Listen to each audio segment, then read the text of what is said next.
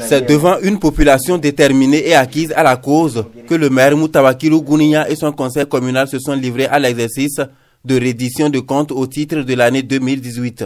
Soukou Pantrosi, l'une des dernières étapes de ce périple organisé dans les six arrondissements que compte la commune de Gogounou.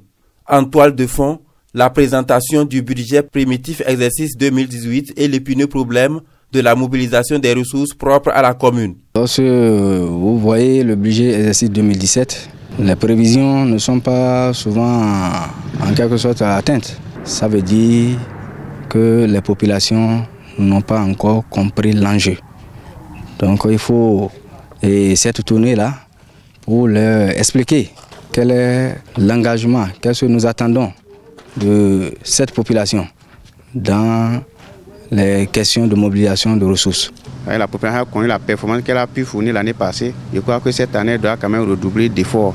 Parce que tout ce qui est promis, qui sera réalisé dans cet arrondissement, est très important. Donc, par rapport à ça, je crois que la population prendra conscience et mobiliser davantage les ressources. Gunaru, un arrondissement à forte potentialité agricole, une opportunité que le chef de cet arrondissement entend saisir pour pouvoir contribuer à booster l'économie locale. C'était la sensibilisation qui manquait. Donc, euh, Gunaro est prêt pour, pour contribuer parce qu'en réalité de pourcentage, Gunaro est premier dans la commune pour produire le coton, le maïs comme ça et les produits viviers tout. Nous sommes prêts pour accompagner le maire.